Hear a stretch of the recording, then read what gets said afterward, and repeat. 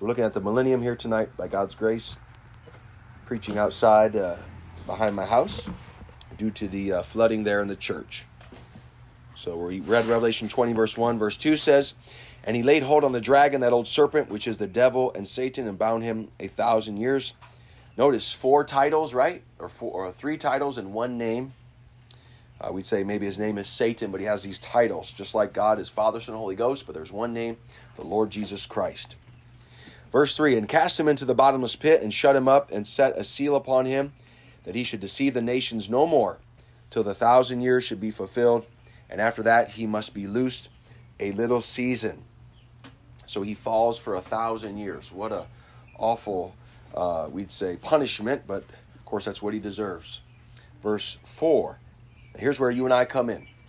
And I saw thrones, and they sat upon them, and judgment was given unto them. And don't forget 1 Corinthians 6 you'll judge the world, you'll judge angels, the Bible said. If we can judge the little matters amongst us now and do it the right way, the Bible said we'll judge the world and we'll judge angels.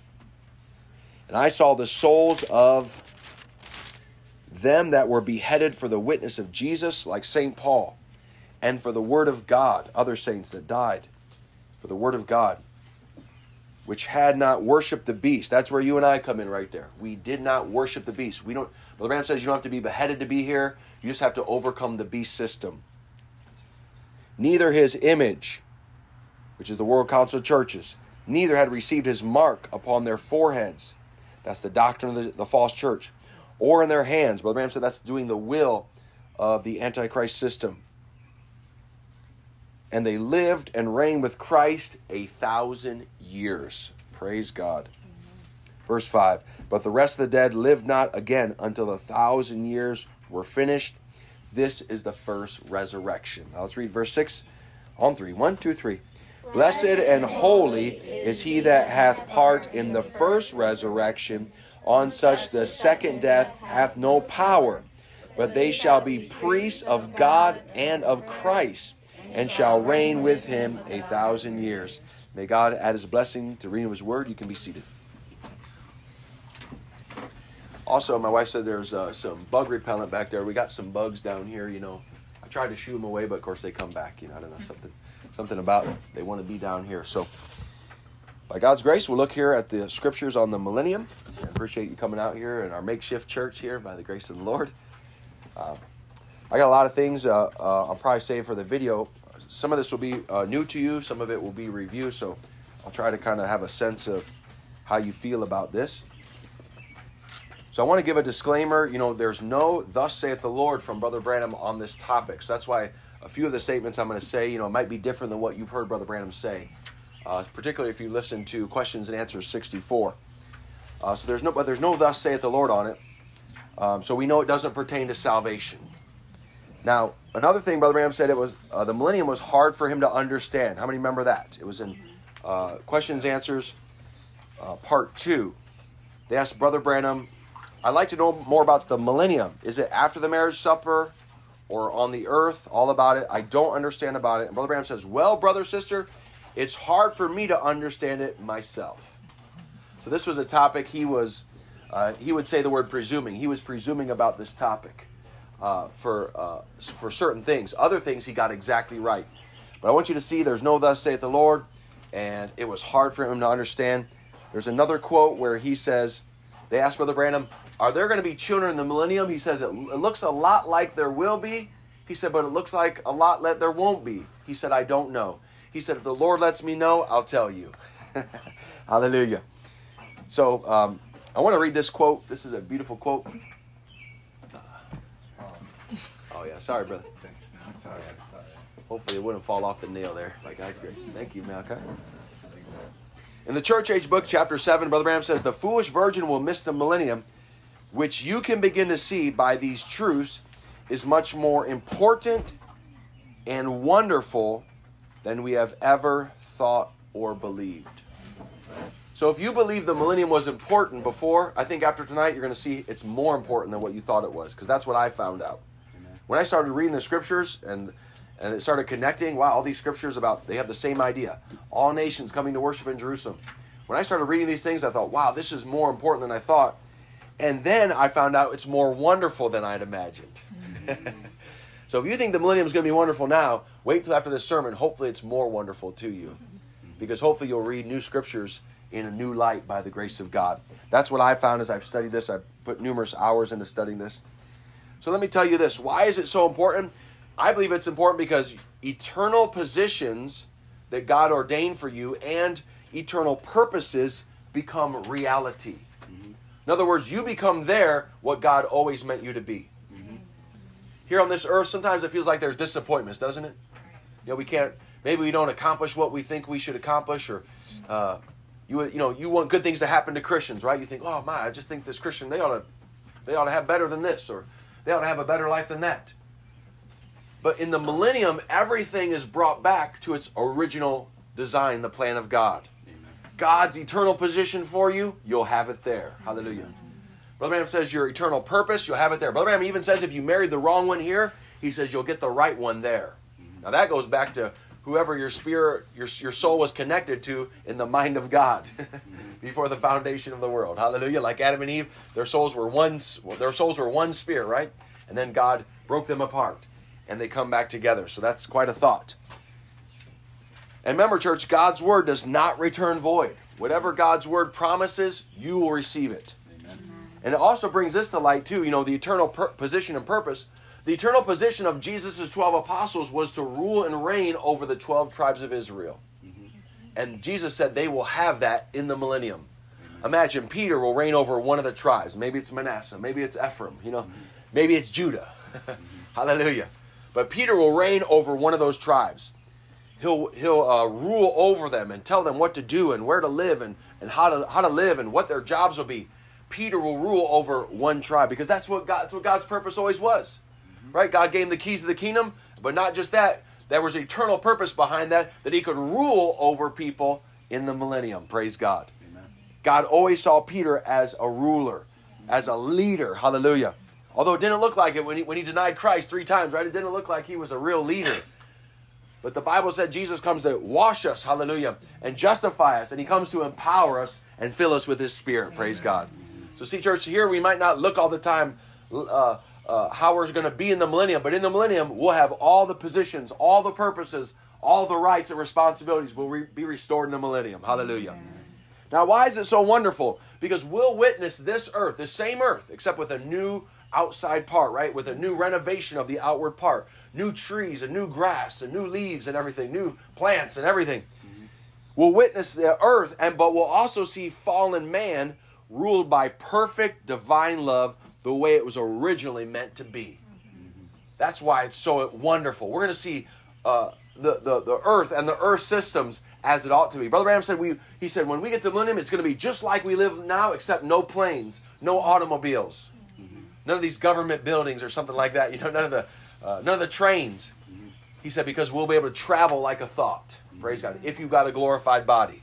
Amen. Hallelujah. So it's so much more important than we can even think now. And it's also so much more wonderful than we can even imagine now. a thousand years where we'll never get tired. We'll never run out of uh, things to do. We'll never feel bored. How many looking forward to that? Praise God. Never, you, will never lack anything. Praise God. You, you, and the Bible says in one place, before you make a call, now the Bible doesn't say this is to God or to a friend. Before you call, the answer will come. That's what I'm looking forward to. Hallelujah. I don't even got to ask for anything. I just got to think about it, and then there it is. It's right there. Hallelujah. Oh, this is better than any movie they could make. Hallelujah. We've seen lots of crazy movies, you know, well, when we were sinners, not all of us, you know. Thank God. We've seen lots, of, some of us saw lots of movies, but they could not even come close to how wonderful the millennium is going to be for Christ and his bride. Amen. Hallelujah. Now, the inspiration came, as I said, since January. I've been reading through Genesis. Now I'm in, uh, what am I in now? Rome, Romans? No, I'm in First Corinthians. And I'm just uh, uh, transferring all my favorite notes and Bible studies, like in my Bible, over to my new Bible. And I came across Zechariah 14, Isaiah 2, Isaiah 11, Isaiah 65, Jeremiah 3, Micah 4. I came across all these texts and something stuck out. They all said, All nations will flow into Jerusalem. Many nations will flow into Jerusalem the wolf will lie down with the lamb. Right. We, always see, we always see pictures of lions laying by lambs, but that's not the word of God. Mm-hmm. The Bible says the wolf will lay down with the lamb. Mm-hmm. So see how we even, you know, even people's art, even artists need corrected by the word of God, right? They have one idea about uh, the millennium. Now, it may be a lion lie down with a lamb, but the Bible calls it a wolf. So after reading all these things, I was just blown away, and uh, I'll try to bring these out. I'm going to briefly go through these uh, five points. What's the millennium? When is it? How do we get there? Now, the main one for me, number four, what happens during it? I have so many uh, new thoughts about that from the scriptures I want to share with you. I think it'll encourage you by God's grace because that's what we're living for. How many living for the millennium? Amen. I'm I'm trying to reign over sin now that I can reign over cities later. Amen. If I can reign over the sin nature of Jesse Smith, then Jesus promised me I'll at least reign over one city. Hallelujah. If I'm a one talent preacher, then uh, maybe I'll get two cities. In fact, actually, maybe I'll get two cities. If I can just reign over this one, this one uh, sin nature, God will give me two cities to rule over by God's grace. Mm-hmm. We see that's plain from the scripture. Jesus doesn't lie. He doesn't tell fables. Hallelujah. Amen. He tells the truth. Now, this is all review, but Brother Branham said the 1,000 year millennium is the everlasting righteousness on the earth. This is one of the six purposes of Daniel's 70 weeks from Daniel 9 24. The six purposes are, uh, are determined. Okay, to finish the transgression, to make an end of sin, to make reconciliation for iniquity, to bring an everlasting righteousness, to seal up the vision, and to anoint the most holy. That's the six reasons Gabriel visited Daniel in Daniel chapter 9. The fourth reason was to bring in everlasting righteousness. That's the millennium. So that's what it is. It's everlasting righteousness. Now, the people, there's going to be all kinds of, we'll see, there's people from all over the world are going to cover this world. Mm-hmm. And we're going to have to bring in righteousness. If they won't do the righteous thing, we'll get, we'll make them do righteousness. Mm-hmm. We'll make them because we'll be rulers. Hallelujah. Mm-hmm. And we've already proved we can rule right now. So that's why Jesus can trust us there. Hallelujah. Amen. To rule in righteousness. Make them do right. Now, Brother Branham said Jesus, think about this. When Jesus was tempted three times by Satan, the reason he didn't give in was because he knew he was going to fall heir to the millennium. How many remember Brother Branham saying that? Jesus said, I'm sorry, Satan said, he took Jesus on the mountain and said, All these are mine. He says, I'll give them to you if you worship me. And Brother Branham said, Jesus said, Get behind me, Satan. He knew he was going to fall heir to them in the millennium. Hallelujah. Amen. See, even Jesus overcame sin by looking to the millennium. And friends, that's what we can do tonight. We can overcome sin and we can think, no, I'm not going to fall to that because I want to rule in the millennium. Amen. I'm not going to compromise. I'm not going to give in. I'm not going to fall into this because I want to rule in the millennium like my Lord. Amen. Hallelujah. So Jesus used that as motivation oh, he's trying to give me these kingdoms now, but I don't want him in this condition. I'm going to get him in their perfect condition. Hallelujah. Amen. Amen. Hallelujah. Brother Branham said the millennium proves the price for sins has been paid. Brother Branham said the man that's going to live through the millennium, 1,000 years, and it shows the penalty has been paid. Man lives forever. Because remember, uh, was it uh, Methuselah was the, the one who lived the longest, 969 years? No man ever lived a thousand years. But church, if we're faithful, if we overcome by the blood of the Lamb, we will live longer than Methuselah, and our bodies will never get old or tired. Hallelujah. Amen. Because Jesus paid, paid the price, He paid the penalty for our sin. And so we re receive His life. And then He rewards us for living a life to glorify Him. And He rewards us with a thousand year lifetime. Hallelujah. Amen. And then, of course, eternity after that. Amen. Brother Branham said, Jesus is the Son of David. He said, and in the millennium, He'll sit on the throne of David Hallelujah. And that's why the Bible said he's given the key of David mm-hmm. or the responsibility of kingship during the millennium. But Branham said it's Jesus who bring in the millennium after the battle of Armageddon. Hallelujah. Amen. Brother Branham said, in the millennium, he comes as son of David to sit on the throne of David, king. So, what was he? Remember, on earth, he was prophet. Right now, Jesus is priest, but he's going to be king. Hallelujah prophet, priest, king, son of man, son of God, son of David. Hallelujah. Mm-hmm. And then Brother Branham says, when he's in the millennium, he'll sit on his own throne. Right now, Jesus sits on his Father's throne in heaven. Right. Jesus said, He that overcometh shall sit with me on my throne, as I've overcome and sat on my Father's throne. Isn't that amazing? Jesus is on the Father's throne now, but when he comes down here, he sits on his own throne. Hallelujah. Amen. Because that's his reward. That's his reward for overcoming sin. He gets his own throne. And church, that's your reward too. You get your own throne. You get to rule on this earth. And I don't know how it works out for sisters. I don't know how it works out. I don't know how it works out like that. But the Bible says if you overcome, you get to sit with him on his throne. Hallelujah. Amen. So the Bible said in the millennium, he'll be son of David. Hallelujah. Now, Brother Branham also says the millennium is the honeymoon. They asked Brother Branham, will there be people on the earth in corporal bodies during that time of the millennium? Yes, sir.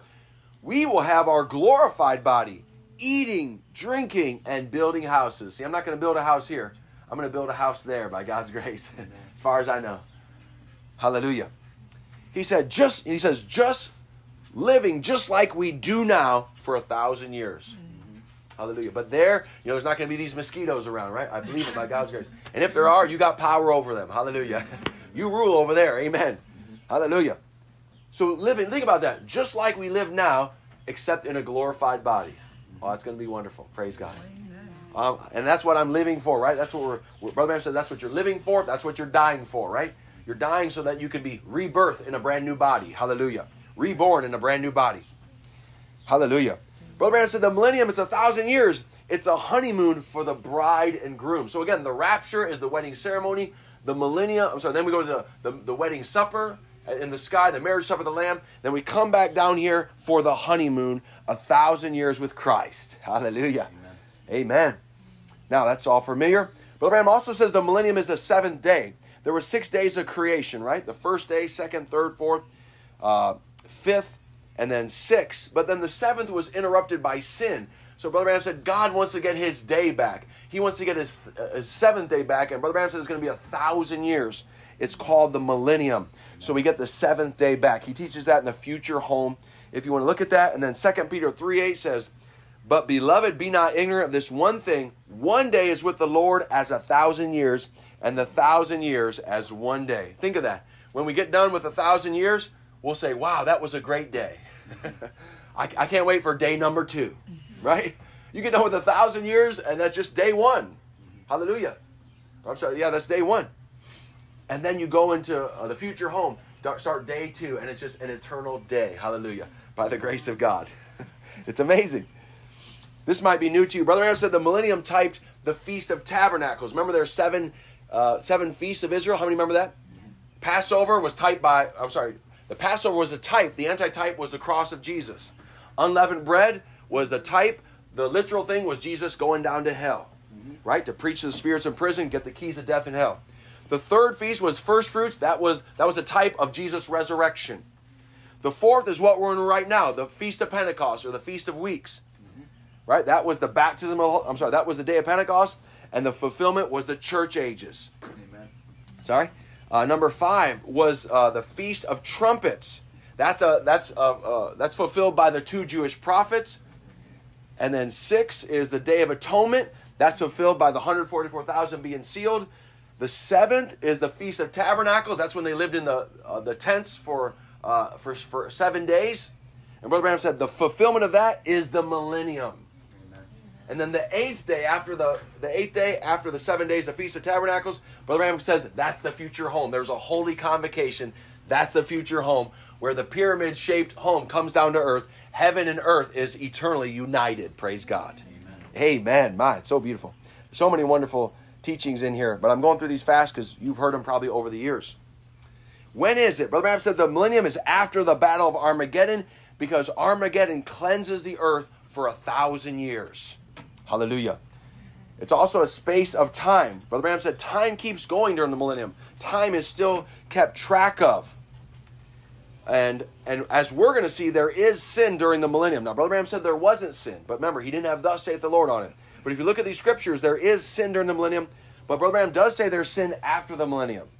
So we know there's sin before, we know there's sin after, so uh, no doubt there's sin during the millennium as well. And let me read that where Brother Branham says that, just so you got it.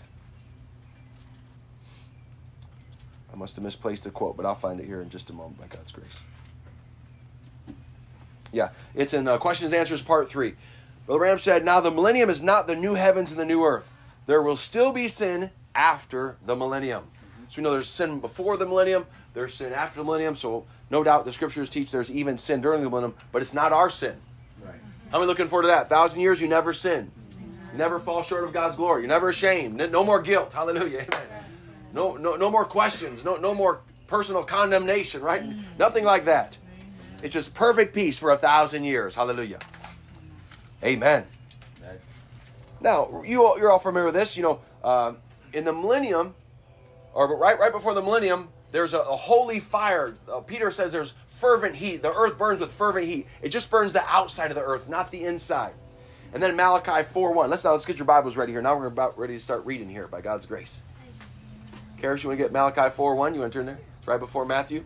Malachi 4, 1, 2, and 3.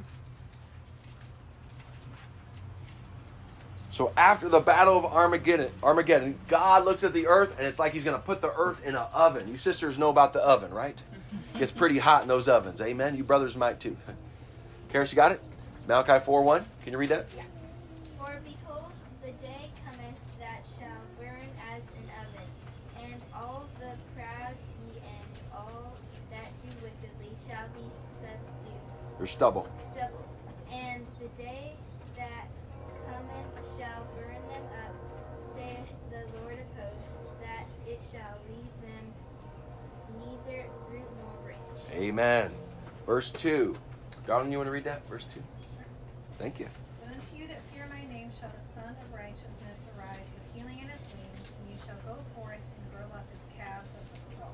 So he's talking about, of course, to Israel. Now, you know, you know he's going to transfer over later in these next few verses to the spirit of Elijah. That's not for tonight. That's a message I've already preached before. But notice, Jesus is going to bring healing. So he's going to bring fire all over the earth. It's going to burn like stubble. Like we, we got a we got a pile of uh, sticks back there, and every time we burn it, it's just a pile of ashes, right? Well, the earth is going to look like that after the Battle of Armageddon. But Jesus is going to rise upon the earth and heal the earth. Oh, it's going to be a beautiful thing. Verse 3. Sister, who would you want to read verse 3? And ye shall tread down the wicked, for they shall be ashes under the soles of your feet in the day that I shall do this. Amen. Lord of hosts. Amen. Thank you, sister. Hallelujah. So Brother Branham says the, the Battle of Armageddon purges the earth. It cleans off the earth so Jesus can step on the earth. Right? Jesus is not going to step on this earth until it's burned over with fire and cleaned out. Remember, he comes down, he meets us in the air. He actually doesn't touch the earth. He purchased the earth with his blood. Hallelujah. But he's not going to touch the earth with his corporal glorified body until the earth is burnt over and all the sin is burnt off it. Hallelujah. Amen. Now, again, I'm skipping a little bit here by God's grace. Now, how do we get there? This is very familiar. You know this. But you must receive the baptism of the Holy Ghost in your souls. And then, if you do that, you will reign for a thousand years in the millennium. Because when you have the Holy Ghost, you'll overcome the beast system. Remember, you'll overcome his image, his mark, his name. You'll overcome uh, the beast system. Now, church, you might not think that's a big thing, but think about all these people that are trapped in denominational churches. The, uh, you know, I've seen different preachers. You know, they kiss the Pope's ring, and they uh, they, they bow down and kiss his feet. And uh, there's this one gentleman that had these evangelical meetings, twenty thousand people there. Lou Engle was his name, and he and he, he he apologized. He brought these Catholic priests out there, and he apologized for being against the Catholic Church because they were Protestants, and he literally kissed their shoes. That was a number of years ago, probably five or ten years ago now, but already. But most, see, most people are going back to the beast system, right? You saw Candace Owens; she's going back to the beast system. All these people are going back to the mother harlot. So see, there is something wonderful inside of you. There's a power inside of you. There's a spirit inside of you that won't let you unite or unite with that beast system. Why? Because the spirit of Christ is against the beast. It just right goes back to the beginning, right? It was uh, Adam and Eve against the beast, right? The serpent. The battle with the serpent from the beginning is the same battle at the end. We're still overcoming the beast system, hallelujah. But we do it by the Spirit of God. Like Brother Branham said, the last Eve won't fall. Amen. The first Adam and Eve fell, but the last Eve won't. hallelujah. Praise God. She'll overcome. Amen. Because she's more than a conqueror in Christ Jesus. Hallelujah. Okay, so notice, it doesn't matter. You don't have to be beheaded to be there. You just have to not worship the beast. In other words, you just have to worship Jesus Christ and have a testimony of the Word of God. And you have to avoid worshiping the beast, his image, his mark in their foreheads and their hands. That's all you've got to do. Now, think about this. Even John, the Revelator, he wasn't beheaded. And how many think he's going to be there? Amen. Some people think, oh, you got to be a martyr to be there. No way. You you think God's going to keep John out of there? Mm-hmm. Right. The beloved? Mm-hmm. The one who leaned on his bosom? The one who wanted to be closer to Jesus than everybody else? Course not. That's his beloved. And so, see, uh, Brother Branham says these are just different descriptions. H- however you, however you overcome the beast, it doesn't matter. As long as you overcome the beast, you'll be in the millennium. Praise God. Hallelujah. Amen. So if, if John will be there and he died by natural causes, we can be there too. Hallelujah. Hallelujah. Thank God. They asked Brother Branham, is, are, are these part of the bride, past or future? Brother Branham said they're the bride completely, both past and now. Everybody say now. Ready? Now. So Brother Branham, Brother Branham reads Revelation 20, verse 4, and he says they're the bride in the past and they're the bride right now. Hallelujah. Oh my, it's beautiful. hmm. Now I have to skip, skip some of these. Uh, Sister Lena, do you want to read Romans 5.17? Want to get that? And then Haven, do you want to get um, Haven 2 Timothy 2.12? Romans 5.17, 2 Timothy 2.12. Whenever you're ready, Sister Lena, uh, uh, Romans 5.17. Okay. For 517. Yes. For if by one man's offense death reigned by one, much more they which receive abundance of grace and of gift of righteousness shall reign in life by one, Jesus Christ. Amen. So how do we reign in life? Jesus has given us God, I'm sorry, given us a gift of righteousness. That's the Holy Spirit. Right? How are you righteous? Not by your righteousness, by God's righteousness, right? So how do we get there? We got to have the Holy Ghost, and that means you reign in this life by one Jesus Christ. Amen. Right? And you remember when you were a sinner, sin reigned over you, right? The Bible said sin reigned over your mortal body. Did it not? Yeah. And if you're, you know, if you remember that, well then praise God. Now you can see sin doesn't reign over me anymore. I reign over sin. Amen. I'm bringing my body into subjection to the Word of God. Hallelujah. Glorious. That's another way to say it right there. That's another way to say how you overcame the beast system. You reigned in this life over sin. And then Haven, 2 Timothy 2.12, hon. Whenever you're ready. If we suffer, if we suffer, we shall also reign with him. If we deny him, he will also deny us. Amen. Praise God. So, how can we reign with Christ? We have to suffer with Him. Right? So, that God is going to bring us through sufferings. It's not all uh, pleasantries, right? Brother Branham said, we're, when we came a, a Christian, we didn't come to a picnic. He's saying, he said, we came to a battlefield. How many understand that by God's grace? Right. And sometimes we go through trials, we think, why am I going through trials? Did I do something wrong? Well, it could be. Or it could be God is just training your character to suffer so you can reign. Hallelujah. Because that's what he says. You have to suffer in order to reign. Now, we see it in America with rejection of our family. That's where we often see it. Like I often use Brother Amen as an example. He's rejected, he's kicked out of his house. I mean, that's truly suffering uh, for, for being a Christian, right? And now, some of us, we may suffer with natural sickness, some of us may, may suffer with other things. But the point is, God's going to let us suffer. But I love what you know Haven shared with me and Lydia, Isaiah 43. I'm going to turn there real quick. I love what they shared. We are going to suffer, but look what God promised. If He promises to Israel, how much more the bride? Verse uh, Isaiah 43, 2. When thou passest through the waters, I will be with thee. And through the rivers, they shall not overflow thee. Ever feel like life's going to overflow you and you're going to drown in all your all your busyness and all your trials? Mm-hmm. Ever feel like that? God said, I'll be with you. When you walk through the fire, thou shalt not be burned. Sound like, sounds like Shadrach, Meshach, and Abednego. Amen. Hallelujah. Neither shall the flame kindle upon thee. Hallelujah. Now, verse 5 Fear not, for I am with thee. Verse 7 says, For I have created him for my glory. I have formed him, yea, I have made him. So, this is the scripture that really encouraged me when I was going through my threats that I had to receive. Maybe that's the suffering. Hallelujah. I don't know. I, I felt like I suffered, that's for sure. Okay, so I just put that in there. That reminded me of that verse there. So we reign in this life, we suffer in order to reign. Mm-hmm. We have to have the right character. So the only way you can have real character is to suffer difficult times, then you'll know how to act when those things happen again. Amen. You might fail the first time, but by God's grace, you won't fail the second time. Hallelujah. Amen. I'll know when I'll know the next time when that comes around. Hallelujah. Amen. We sit with Jesus and we judge. The Bible said we'll judge angels, we'll judge the world. To him that overcometh, Revelation 3:21, will I grant to sit with me in my throne. Hallelujah. Amen. And then Revelation 24 again. They lived and reigned with Christ a thousand years. Hallelujah. Because they overcame during their lifetime. Now, here's the most wonderful part of the sermon, hopefully, by God's grace. Get your Bibles ready. I'm going to need some Bible readers here, by God's grace. What happens during the millennium? Now, I've already said some of them. The first thing is we the the uh, sorry the most holy place is anointed. The second, third things they have to bury all the soldiers from Armageddon.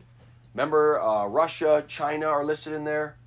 Uh, the the ten tyrants of the earth, so probably North Korea, some other ones in there, Syria probably. Uh, and then they got to burn the weapons. So think about all these tanks, right? We see these tanks and planes. They have to burn those during the millennium. Gonna be a lot of fire, Right. right? And the Bible says it's going to take years to burn their planes and all their guns. Years. And then this is for you and I. We're going to build, plant, and inhabit. And then we're also going to be part of some worldwide worship services by God's grace. Oh my, I can't wait for that. Hallelujah. Again, I want to be on the side where Brother Brooks is leading songs, okay? Brother Brooks and Brother Amen by God's grace. Hallelujah. So, what does anoint the most holy mean? It means Jesus comes in and he sits on the new millennial temple in Jerusalem in the holiest of holies. But, church, don't fret. There's no veil in that temple. Hallelujah. Because the veil has already been torn. Hallelujah. Amen. So, we'll be able to approach the throne of God. We'll go from the outer court, the inner court, and we'll see Jesus in the holiest of holies. Hallelujah. Now, we'll already have an exalted position. We're already kings and priests unto God. Mm-hmm. Right? We'll have a way in. We'll just have a, a, a way in there already.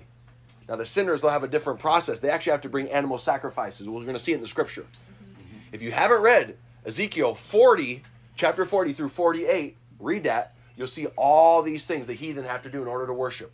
Amen. If he, it's the end of Ezekiel. The last chapter is 48. So Ezekiel 40 to 48. And Brother Branham said any Bible reader knows that's the millennial temple. Mm-hmm. and I, I felt bad, Brother Austin. I, was, I didn't know that. Brother Branham, I thought I was a Bible reader. I realized I'm not really a Bible reader.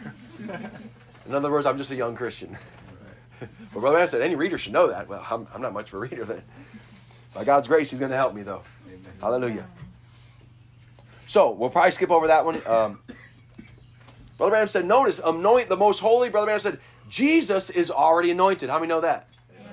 Acts 10.38 already said Jesus is anointed, was anointed with the Holy Ghost and power to do signs, wonders, and miracles. Jesus don't need anointing. It's the temple that needs anointed. Amen. Right. And that temple gets anointed when Jesus comes in, he says. He says Jesus is already anointed. Is that right? The book of Acts said that God anointed Jesus with the Holy Ghost. Hallelujah. the most holy place is a sanctuary where God lived between the cherubims. And this time, Christ will set in the most holy place with the anointing on him. Oh, my. Hallelujah. Praise God. So, if you haven't read it, Brother Branham said any reader knows that from Ezekiel, the 40th chapter, until about the 44th chapter, is nothing in the world but the millennium temple being erected on earth. Anyone knows that, see? yes, sir, Brother Branham. That's right. Anyone knows it. Well, that, that, that's, that's perfect because I'm, I'm a nobody, right? Anyone knows that. Well, I'm no one. So that, that fits me by God's grace. Now, I showed you this a while ago. Uh, let me see if I can just show it to you. Ezekiel temple looks like that. I mean, I'm not, you're not going to be able to see it very long, but it's just a, it's a massive, massive temple because all the nations of the earth need to have time to come in there, worship and sacrifice. And it's much larger than um, any other temple. So here, I'll point down here in the green is an American football field, and that's the Ezekiel temple. Remember this picture I showed it about a year ago? So how many football fields can get there? Probably like 10. That's a football field, and then that's the Millennial Temple. Just imagine how large it is. How many thousands of people? Football field, Ezekiel's temple. That's in uh, Ezekiel 40 through 48. So the green one is American football field, and that's the Millennial Temple. Just the massive size of that. Hallelujah. And in their church, you're a priest. Amen. And the church said, Amen. right? You don't have to be born out of Levi. You just got to be born from heaven. Hallelujah. Praise God. Amen. It don't matter. Your natural birth doesn't matter. Your spiritual birth is all that matters. Hallelujah. You get to be a part of that. A priest unto God. That millennial temple is only 750 feet wide. Anybody remember how many miles wide uh, the length is of the New Jerusalem? 1,500 miles wide. So the Millennial Temple is only 750 feet. Boy, I'd like to measure that out sometime. Maybe after service, I'll measure that out. But the New Jerusalem, so it's, it's only 14% of one mile, right? But the New Jerusalem is 1,500 miles length of it, right? Brother Branham said it's from Maine to Florida. That's just one side of the of the new of the New Jerusalem temple. Praise God, Hallelujah. So there's no comparison how great that is. Okay, now got your Bibles there. Let's read about bearing soldiers and bearing weapons here. Uh, who would like to read here? Sister Zer, do you want to read that? Sister Zer, do you want to go to Ezekiel 39 9? And then I'll give Sister uh, who I'll give you a verse there. Sister, why don't you go to Isaiah 65, Sister Hua? Uh, 65 17. And then Sister Zer, Ezekiel 39 9. So let's first read about bearing bodies and bearing weapons. So, Sister Zer, could you read 9 and 10? And they that dwell in the cities of Israel shall go forth and shall set on fire and burn the weapons, both the shields and the bucklers, the bows and the arrows, and the handstaves and the spears, and they shall burn them with fire seven years. So that they shall take no wood out of the field, neither cut down any out of the forests. For they shall burn the weapons with fire, and they shall spoil those that spoil them, and rob those that rob them, saith the Lord God. Amen. Verse 12. Look, if you skip down to verse 12, I'll read that. And seven months shall be the house of Israel be bearing of them that they may cleanse the lands. Seven years of just burning the weapons, and seven months of bearing the bodies. Right? So God's not just, God's not just going to send down holy fire and burn up all the, the Russians or the Chinese or the I don't think America will be existing at that time, but in other words, anyone who comes against anyone in the beast system who comes against Christ, God's not just going to burn them up with fire. Right. Some of the, their bodies will be stubble, but they still got to bury those, right? The Bible said the earth will be a stubble. They still have to bury them. They're going to have something to do, right? They got to they got to live, right? They got to inhabit. They got to start all over. Right. All right, thank you, sisters. There. Now here is uh, remember, Brother Branham said, living just like we do now. We get to live now. I'm sorry, however we live now, we're going to live there, except in a perfect condition, a holy condition all the time. Hallelujah. So, sister, here's where we see um, a lot of things in here. Why don't you read uh, 17, 18, and 19, sister? For behold, I create new heavens and a new earth, and the former shall not be remembered, nor come into mind. Mm. But be ye glad and rejoice forever in that which I create. For behold, I create Jerusalem a rejoicing, and her people a joy. And I will rejoice in Jerusalem, and joy in my people, and the voice of weeping shall be no more heard in her, nor the voice of crying. Amen.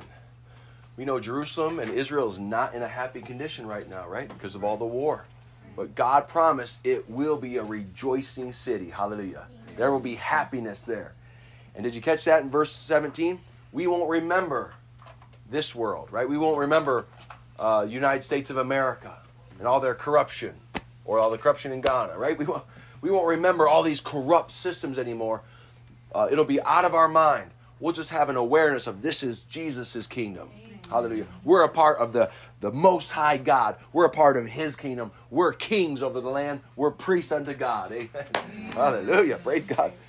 Look at verse 20. There shall be no more thence an infant of days, nor an old man that shall not fill his days. So, see, there's not going to be an infant who dies, or an old man that doesn't get to live out his years. See this? For the child shall die a hundred years old, but the sinner being a hundred years old shall be accursed. So see, uh, it seems like the least amount of time a person will live will be a hundred. That's what it seems like from the scripture. So God's going to protect them and give them good lives. Remember, they, they got good rulers to rule over them. Praise God. Hallelujah. They got good rulers, maybe good doctors by God's grace. I mean, whatever, whatever eternal knowledge God equips us with. All the children will live to a hundred. Hallelujah. And if now look, a sinner, and if a, a if a sinner dies, if a, a sinner dies a hundred years old, it's going to be like they're cursed. So, oh, what happened? They only got to live a hundred. We had a thousand years. Right. They had a thousand years to live. Verse twenty-one: They shall build houses and inhabit them, and they shall plant vineyards and eat the fruit of them. Hallelujah. It's not going to be any uh, sinful animals taking our produce, right? They're not going to sweep in here and take all of our Gardens that all the garden that you planted by God's grace. Mm-hmm. No, if you build it, you're going to live in it. If you plant it, you're going to harvest it. Praise God. It's going to be just the way God intended it. How many looking forward to that by God's grace? Think of a house, Karis. Think, Haven, think of a house. You can build it by God's grace. Mm-hmm. You got a thousand years to do it. Praise God. Hallelujah. Verse 22 They shall not build and another inhabit. Thank God. No one's going to take over my house. They shall not plant and another eat. For as the days of a tree are the days of my people, mine elect shall long enjoy the work of their hands. a thousand years. You get to enjoy your property for a thousand years. Hallelujah. Long enjoy. Oh, this is the best place. I've always said I, I love mountains. I like some mountains and I like a lake, or I don't know if there's going to be lakes, but I sure would like a lake. I guess I could probably build one by God's grace, or dig one. I could dig one. Verse 23 They shall not labor in vain, nor bring forth for trouble. See, nothing's going to be wasted. Everything you do is going to be perfect, led of the Holy Spirit. Praise God. Amen. For they are the seed of the blessed of the Lord, and their offspring with them. Hallelujah. Malachi, Jen, Zion, all the rest of mine, you're going to be there with me. Hallelujah. My seed, my offspring. Hallelujah. Here it is, verse 24. And it shall come to pass that before they call, I'll answer. I would say, uh, I need some timber. I'll go, and it'll already, already be here. Thank God. Amen. Hallelujah. Before I even call, Brother Austin, he'll already answer. Brother Jess, what do you want to talk about? Hallelujah. See, while they're speaking, I will hear. Hallelujah. So even even fellowshipping with the Lord, right now, that's amazing grace right there. Wanting to wanting to fellowship with God or talk to the Lord or ask the Lord a question. I'll reach out to call. It's just like you know your cell phone. You're gonna pick up your phone. Oh, there's the answer's already there. you got it. Right, even, even before you can text, you already got the answer there by God's grace. Oh, it's beautiful. Verse 25: The wolf and the lamb shall feed together, and the lion shall eat straw like the bullocks. I think that's why they put the lion by the lamb because it's in the same scripture. And dust shall be the serpent's meat. They shall not hurt nor destroy in all my holy mountain, saith the Lord. And the church said, Amen. Isn't that beautiful? Now here's one that was brand new to me. So, uh, uh, Haven, you got some reading there. Wait, did I? Did you read already, sister? Did I? Okay, you did. Oh, thank you. Sorry, I don't want to skip anybody. And brother Austin, you got a Bible, brother? Yeah. Oh, Lena's got one. Okay. All right. So, brother uh, Austin, why don't you get Zechariah 14, 16? Zechariah right before Matthew. Should be find Matthew, and it's a book right before that. I'm sorry, two books before that. Malachi, Zechariah 14, 16. You said Zechariah? Yes, sir. 16? Yep, Zechariah 14, 16. So as I was reading these last, you know, six months, I've been reading through the Old Testament and everything. I kept coming across these same thoughts about going up to Jerusalem to worship. So, brother, could you read uh, 16, 17, and 18? Yeah. Um, and it shall come to pass that everyone that is left of all the nations which came against Jerusalem shall even go up from year to year to worship the King, the Lord of hosts, and to keep the Feast of Tabernacles. And shall be that whoso will not come up of all the families of the earth unto Jerusalem to worship the King, the Lord of hosts, even upon them shall be no rain. Hmm. And if the family of Egypt go not up and come not, that have no rain, there shall be the plague wherewith the Lord will smite the heathen that come not up to keep the feast of tabernacles. Amen. How, how many uh, shocked by that statement there? There's going to be parts of the world that, that I wonder if we'll control it, right? Because Jesus controlled nature. There'll be parts of the world that will not receive rain because they don't come up to worship Jesus. Now, friends, this has not been fulfilled yet, right? This was written, uh, what's the verse there? Uh, Zechariah 14. Well, this one must have been, what, 400 years before Christ? Yeah, almost 500 years before Christ. You know, after this, Israel never had a king that everybody came to worship. It hasn't been fulfilled. This has to be the millennium. Mm-hmm. This has to be Jesus the King. And did you see that in verse 16? Everyone that's left of all the nations. So there's some people, you, you know those movies about living through Armageddon, right, Brother Austin? Yeah. So that's, that's from the Bible. That's, that's real. Some people are, when God burns the earth over, maybe they got their, maybe they're camped in the ground. I don't know. Who knows? Maybe they're in caves. The Bible said they'll be in caves. Some of them will be in caves, calling out from, calling out to the Lamb. Mm-hmm. But some of them, there's going to be some people left over, and they're going to just walk out into ashes, right? And they're going to see Jesus heal the earth and heal the nations. Mm-hmm. Hallelujah. And no, no, notice, there'll be no rain if you don't go up to worship Jesus. And there's going to be plagues. Now, Egypt's going to get a good reminder of plagues. They already got some plagues. Hallelujah. Mm-hmm. Jesus is going to give them some more plagues if they don't come to worship. Right? And now look at verse 19. This shall be what? The punishment. See, there's punishments during the millennium. Because there's rulers. And if you don't follow the rulers, you get punished. This is the right way the earth should have always been.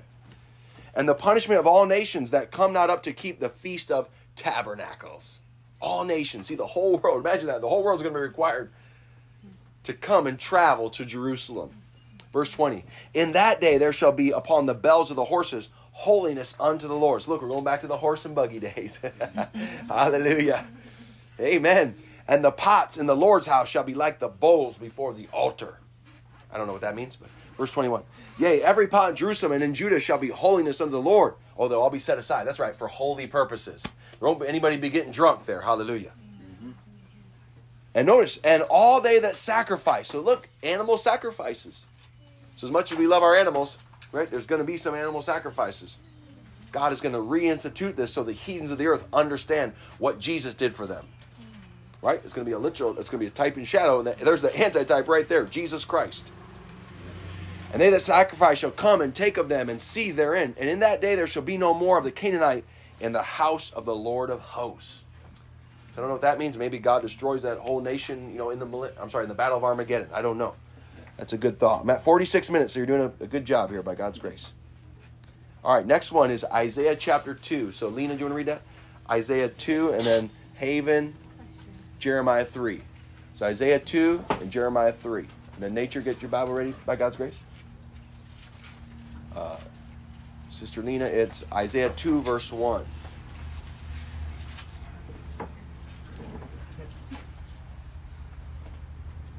The word that yeah, the word that Isaiah the son of Amos saw concerning Judah and Jerusalem. Why don't you read down to verse? Can you read all the way through four? Yeah. And it shall come to pass in the last days that the mountain of the Lord's house shall be established in the top of the mountains, and shall be exalted, exalted above the hills, and all nations shall flow unto it. And many people shall go and say, Come ye, let us go up to the mountain of the Lord, to the Lord, to the house of the God of Jacob, and he will teach us his ways, and we will walk in his path. For out of Zion shall go forth the law, and the word of the Lord, the Lord from Jerusalem. And he shall judge among nations, and shall rebuke, rebuke many people, and they shall beat their swords into plowshares, and their spears into pruning hooks. hooks. Nations shall not lift up the sword. Nations shall not lift up sword against nation, neither shall they learn war anymore. Amen. Thank you, sister. Verse 5 says, O house of Jacob, come ye and let us walk in the light of the Lord. That's where we get that song. We'll walk in the light. Such a beautiful light. Now, we do it spiritually when we confess our sins. The Bible says spiritually walk in the light, right? But here's the literal light. We'll walk in the light of Jesus Christ, the light of his glory shining upon the nations. Hallelujah. So, see, verse 2 said, All the nations will flow into this. this I, I showed you that Ezekiel house, 750 feet wide. All the nations shall flow in, and they got to go out a separate door. The Bible said they can't go in the same door they came. Hallelujah. That's a good type there. In other words, like church, you shouldn't leave the same way you came to church. Right, right. Right? If you're down or discouraged, don't leave that way. Hallelujah. It's a great literal uh, fulfillment of what we experience spiritually. Praise God. I'm not going to leave here discouraged. I'm not going to leave here depressed. I'm not going to leave here sad. I'm not going to leave here in sin. I'm going to leave here purified by the blood of Christ. Hallelujah. Not going to go out the same way I came in. And notice, he, he has to teach them their ways in verse 3. He has to teach these heathen nations that made it through Armageddon. He's got to teach them their ways. And, the, the, and out of Zion shall go forth the law. Zion's been hearing his name in all the songs. He's been getting excited about that. you got a powerful name, buddy. Hallelujah. Mount Zion, city of the great king. Hallelujah. Amen. So he's got to teach from his temple. He's got to give the law so that people know the law. And notice, he shall judge them. And you catch that that she read in verse 4? Rebuke many people. So Jesus will rebuke many people. I imagine we will too, because the Bible said we'll rule with a rod of iron. In other words, we'll slam down that rod, right? This is how it's going to be. We'll rule with a rod of iron. And then no more wars by God's grace. Amen. Thank you, sister. Wonderful reading. Haven, Jeremiah 3 16 and 17. Can you read just those two verses? And it shall come to pass, when ye be multiplied and increased in the land in those days, saith the Lord, they shall say no more, the ark of the covenant of the Lord, neither shall it come to mind, neither, neither shall they remember it, neither shall they visit it, neither shall they be done, neither shall that be done any more. At that time they shall call Jerusalem the throne of the Lord, and all the nations shall be gathered unto it, to the name of the Lord, to Jerusalem. Neither shall they walk any more after the imaginations of their evil heart. Amen. Wonderful. This was not fulfilled in Jeremiah's day, right? Because they still wanted the Ark of the Covenant. Even today, the Temple Institute, that's the name of the Jews who are trying to get ready for the third temple, right? They're getting the red heifer ready. They even have uh, an Ark of the Covenant. Even current Jews have an Ark of the Covenant. But Jeremiah said they're going to no more say the Ark of of the Covenant. Why? Because the King is there. Hallelujah. They don't need the presence of God in an ark because Jesus is the ark. Hallelujah. He is the presence of God. Hallelujah. Amen. They won't need an ark. They'll have Christ. Hallelujah. Remember, all nations. Again, look at all these. Look at these phrases. All the nations shall be gathered into. They'll all come to the throne of God there in Jerusalem. Amen. Now, nature. Micah. Micah might be hard to find there. Micah chapter four. And then Karis, Isaiah eleven. Micah 4, and then Isaiah 11. Obadiah, Jonah, Micah. Obadiah, Jonah, Micah. Nahum. Karis 11, uh, Isaiah 11. Okay, sharing the Bible. Amen.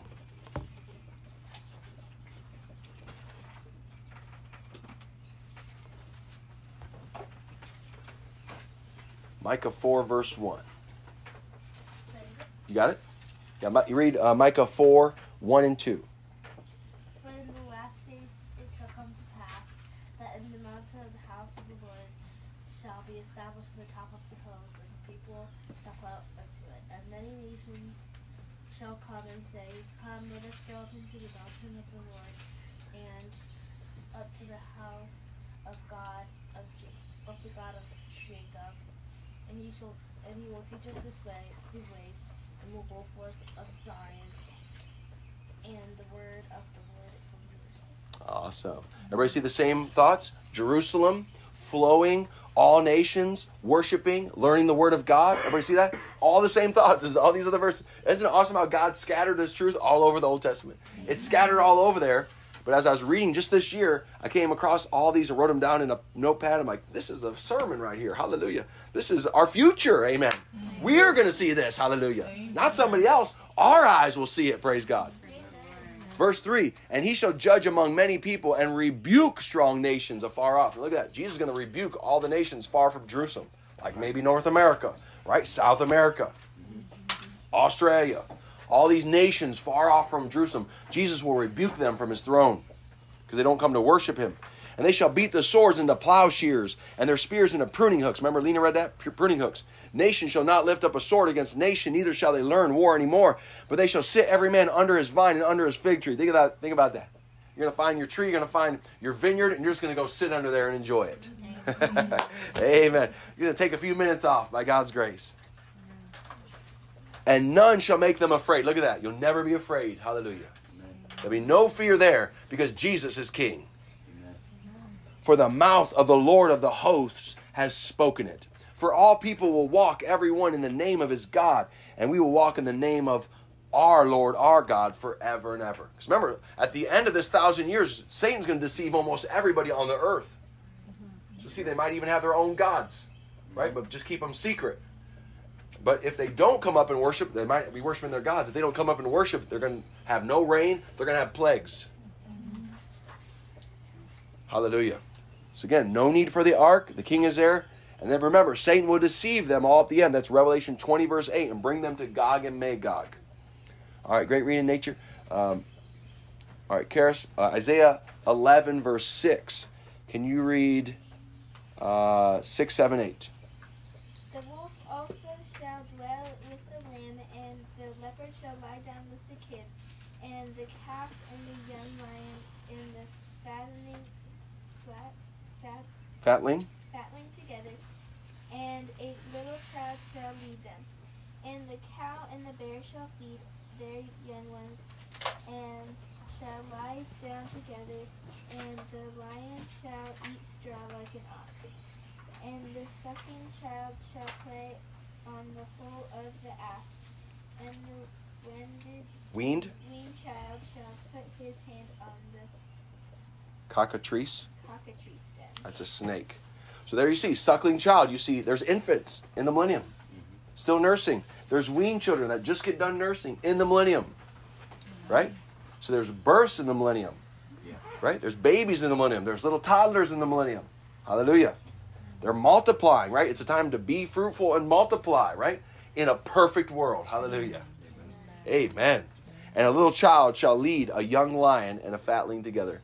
Well, Haven, we might get to ride lions in the millennium. Hallelujah. We might. We've always talked about riding a lion, you know, because of uh, Aslan and Narnia. We might get to do it. We'll lead them at least. The children will lead the lions in the millennium, the, the young lion.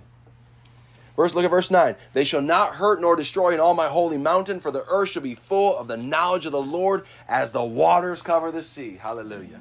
Amen. Oh my. God's word is going to be everywhere. Amen. Everyone's going to know the word of God. Either they're going to accept it and obey and come and worship, or they're going to reject it and suffer punishments, rebukes, and plagues. Hallelujah. So here, notice, church, here today, people can, it seems like they're getting away with all their sins, right? Mm. If any place should have plagues, it's California, New York, right? Chicago. Mm. Yet they still got water and they still got, you know, they should have plague upon plague. But that's because this is a corrupt kingdom. Hallelujah. But the coming kingdom, hallelujah, all rights, all wrongs will be made right. Hallelujah. Every punishment will be poured out instantly, right? If they don't come and worship, no rain, plagues, punishment, rebuke, because it's the right kind of civilization, Brother Branham says. Amen. It's not an unholy civilization, it's a holy civilization. Brother Branham said, There will not be this kind of a civilization in the world to come. There will be no automobiles or nothing that science has ever done. There will be no such things in the world that is to come. But it will be God's own type of civilization that He'll set up in His glorious reign. Hallelujah. That's from God's Power to Transform, 1965. Amen. Oh, I love it. Yeah, I want to read that quote for you just so you can see it or hear it. Brother Branham says, yes, uh, Brother Branham, okay, let me, oh, sorry. Oh, yeah. Brother Branham, will there be children during the thousand years of the millennium reign? That's the question in my mind that I told you the other day. I don't know. It looks a whole lot like it could be. It looks a whole lot like it couldn't be. I'm going to be as honest with you as I know how to be. I don't know at this time. I don't know whether there'll be, there will be, or whether there not be. I can't say. Hallelujah. See there, Brother Branham was learning, right? He's going by the scripture. He's seeing all these scriptures, but he doesn't know for sure. But as, as, as I've showed you, I've showed you how many verses, and you know, in all these Micah, Jeremiah, uh, Isaiah, Zechariah, all these witnesses, they all say the same thing, right? And so we can see there's going to be birth, there's going to be death, there's going to be sin, but there's going to be a holy, righteous, everlasting kingdom. Hallelujah. Now, I'm trying to find a place to close here by God's grace. So, just in summary, there's births, there's death, there's sinners, there's children, there's families, there's infants, there's marriage. If you want to write this down, Ezekiel 44 says Israel's going to have natural people too. And uh, the priests have to marry certain type of women, right? Remember that? Ezekiel 44 22. So Israelis, the 12 tribes, remember they're getting ruled over by the 12 apostles. There'll be animal sacrifices, Ezekiel 42, Ezekiel 43, Ezekiel 44, Ezekiel 46. The millennium will have survivors from Armageddon. We read that. The millennium will have plagues as punishment.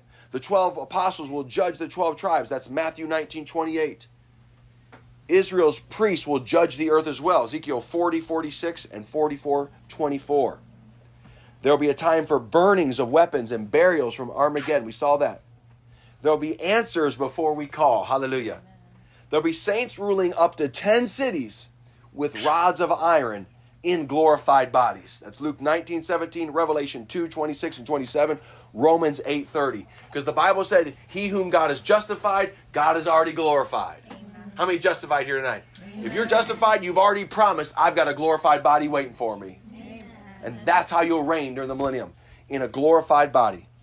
Remember, Jesus' glorified body, it walked through walls. In John 20, 19, the Bible said they shut the doors for fear, and then the Bible said Jesus appeared to them. So he just walked through the wall. Then also, he showed himself down at uh, Sea of Galilee, right? And he ate the fish. They said, ha- he said, have you here any meat? Oh, there's a deer out there. There's some good meat out there. Amen. Hallelujah. have you any meat? And they gave Jesus some fish. And Jesus ate the fish, right? In a glorified body.